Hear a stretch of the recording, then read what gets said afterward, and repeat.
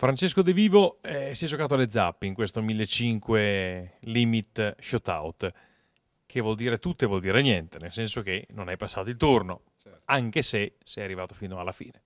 Sì, ehm, diciamo che rimane il male in bocca, perché se superavi il turno eri già premi e poi soprattutto essendo circa 500 persone, c'erano i tavoli da 5 persone, quindi rischiavi veramente di arrivare al tavolo di finale. Purtroppo io, eh, quando siamo rimasti in tre, eravamo più o meno tutti con le stesse chips, eh, però avevo al mio tavolo un giocatore molto aggressivo, mh, diciamo che ha eh, avuto fortuna contro di me in un paio di mani, mi ha accorciato e poi le ha regalate tutte a, al mio avversario. Quindi poi quando siamo arrivati nei zap praticamente eravamo circa 3 a 1 a favore del mio avversario. Non ho visto stato card quindi non ho visto più carte, lui sì, eh, niente, non, non, ho fatto il miracolo di poter eh, risalire. Beh, tu già avevi ottenuto un heads up e lì invece vale tanto di più a Copenaghen, all'EPT.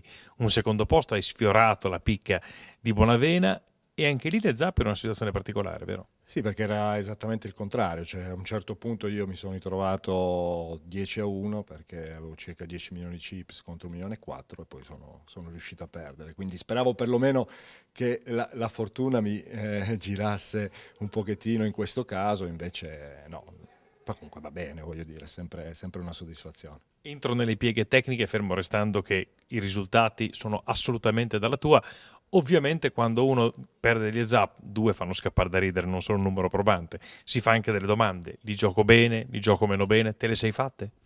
Ma, ehm, io non mi reputo sicuramente un, eh, un esperto del gioco zap, però dico che sia a Copenaghen, dove eh, comunque se l'avversario, come continuo a vedere eh, ogni mano, donna donna, so K, so donna, so Jack e zap, diventa difficile riuscire, puoi essere bravo quanto vuoi, ma diventa difficile batterlo.